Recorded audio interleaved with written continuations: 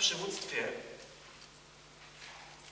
to, to jest również to, co o tej definicji jest sporo. Jedna z takich moich ulubionych to jest definicja Gareta Jonesa, dlaczego ludzie mieliby cię uważać za swojego przywódcę. To jest tak, że przywództwo to jest to, co my robimy dla innych, ale też to, co robimy z innymi. W jaki sposób pomagamy im wzrastać, pomagamy im się rozwijać.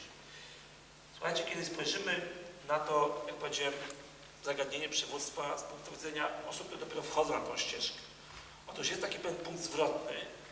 Ja to naturalnie robiłem, ale dopiero teraz niedawno sobie uświadomiłem, przygotowując się do różnych kolejnych wykładów, że lider, dopóki był profesjonalistą, dop- dopóki pracował jako zwykły pracownik w jakimś dziale, to koncentrowaliśmy się, będąc jako zwykli profesjonaliści, nie liderzy, koncentrowaliśmy się na tym, żeby samemu osiągnąć sukces, żeby samemu być efektywnym.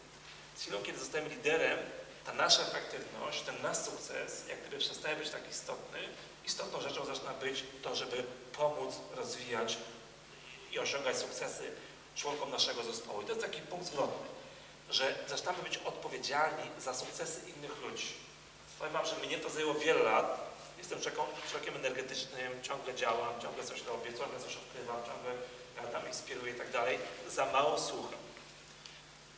Gdyby ludzie ode mnie uczą się poprzez bycie ze mną w jednym pokoju, w jednym zespole, w jednej drużynie, a to nie jest tak, że ja świadomie poświęcam ileś tam czasu na to, żeby pomagać mi się rozwijać. Od pewnego dopiero momentu, gdzieś tam jeszcze jakichś pięciu lat, zacząłem świadomie y, lepiej zarządzać tym, żeby ci moi współpracownicy korzystali z tego, że rzeczywiście są w takim zespole. Przywództwo to jest relacja, jaka się nawiązuje między liderem a, a, a osobą, która jest w jego zespole.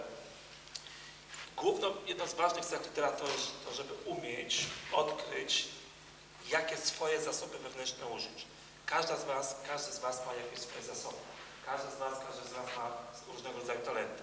I teraz w różnych sytuacjach trzeba tymi zasobami, tymi talentami adekwatnie zarządzać, adekwatnie ujmować.